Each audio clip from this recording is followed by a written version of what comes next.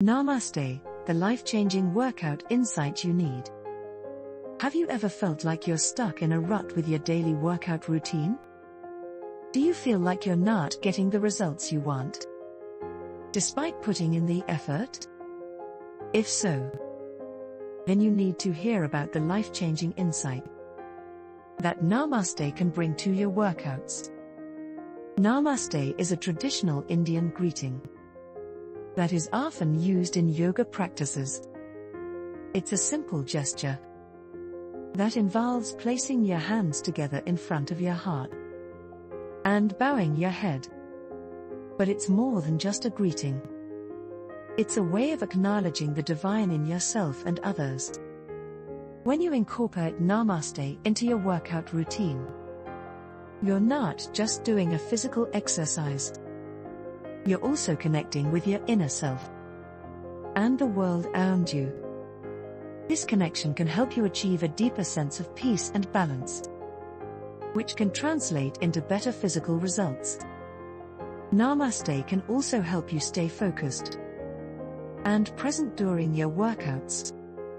It's easy to get distracted by external factors like music or other people in the gym.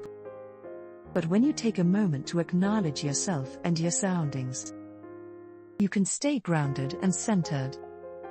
Incorporating Namaste into your workout routine is simple. Before you begin your workout, take a moment to stand with your feet hip distance apart. Place your hands together in front of your heart. And take a deep breath. As you exhale, bow your head and say, Namaste.